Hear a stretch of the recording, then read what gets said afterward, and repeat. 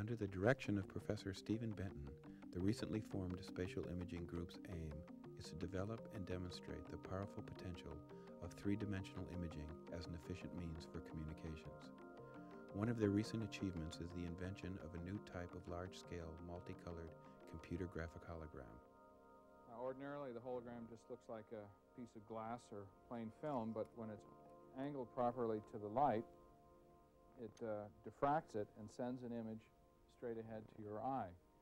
And uh, right here, that's a two-dimensional image, but if you move or the hologram moves, then you see a, a sequence of right to left views that gives you the impression of three-dimensionality.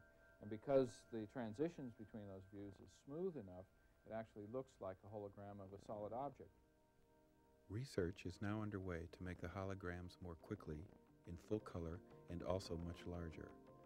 The group is also working on such technical problems as developing specialized computer graphics, assembling computer automated hologram printers, and inventing new optical systems for high quality production and display of large scale 3D images. Holographically stored images will be documented to allow convenient visualization of intricate shapes, forms, and spatial relationships in the fields of medicine, art, education, as well as architecture and in engineering design. In addition to their purely technical work, the group is deeply concerned with advances in the aesthetics of three-dimensional image creation and perception.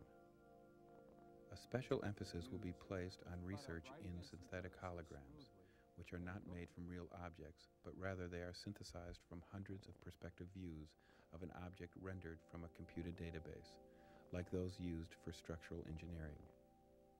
The images to be prepared for holographic hard copy can be quickly edited and previewed with interactive devices such as the Trillium Flight Simulator, and then rendered in full realistic detail using computer ray tracing techniques. Ray tracing can also predistort the images to match the anamorphic projection optics designed into the new holographic exposure method.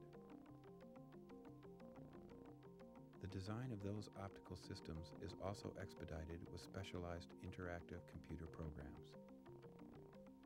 The holography laboratory has been outfitted with state-of-the-art equipment, such as large vibration isolation tables, powerful argon and helium neon lasers, and programmable positioning equipment, which has been specially designed for holographic exposures. This is a uh, prototype of a new holographic format, which we're calling the alcove hologram. In it, the holographic film is stretched around a concave cylinder to project the image out in front where you can almost touch it. And the cylindrical shape makes it visible over a wide viewing zone, almost 180 degrees. We expect to make some major changes in the overall look of holograms, not just in terms of the content, whether it's medical or engineering or computer graphic images, but in terms of the size, in terms of the color, and even in terms of the format of holograms we expect holography to move ahead very quickly over the next several years.